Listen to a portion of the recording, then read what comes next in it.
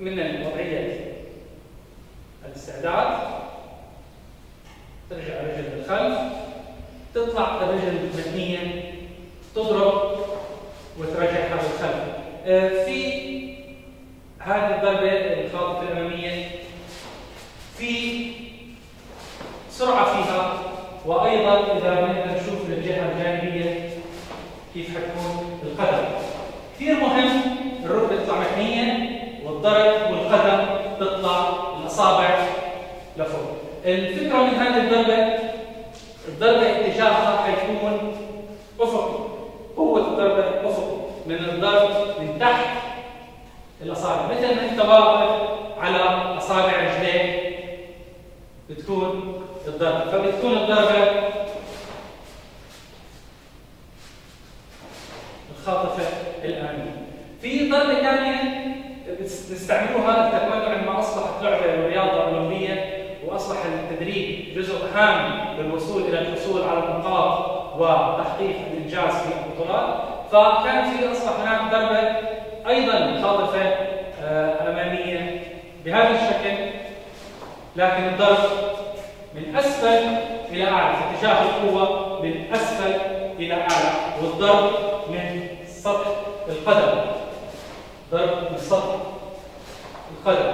فهذه أيضا نفس الشيء تستعمل بأكثر من مرة وأكثر من استعمال مهم جدا تتذكر التكرار هذه الضربات تفيد كثير.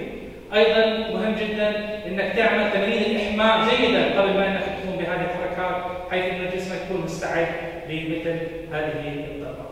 آه، أيضا آه، هناك وسائل مساعدة مثل آه، مضارب تضرب عليها تستطيع انك تضرب عليها. وهذه تساعدك كثير إنك تحقق وتحسن من أدائك. الضربة الخاطفه الأمامية مثل ما حكينا في نوعين. الاتجاه انها تكون أفقية ضربه تيجي دغري تكون اتجاهها أفقي.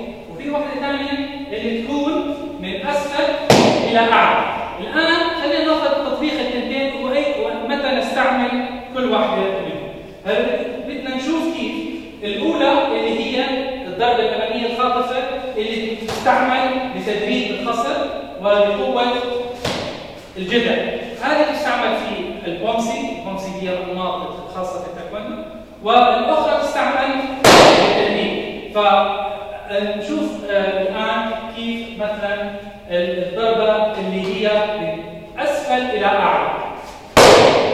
الآن بس تيجي تدرب يتدرب المتدرب نعطيه بعدين نحولها إلى نصف دائري. فاللاعب يتعود كيف اتجاه الحركه ويحصل على نقاط في المباريات والبطولات لكن لا يعني إنه ما نستعمل أيضا الضربه الخاطفة الأمامية اللي هي أفقية. ولذلك بتفيدك كثير للجذع وللظهر. الضربتين يستعملوا ينصح انه يستعملوا لمنطقة الوسط، ما نضربها مع الوجه، ما نضربهم تحت. الوسط هي منطقة راس المعده.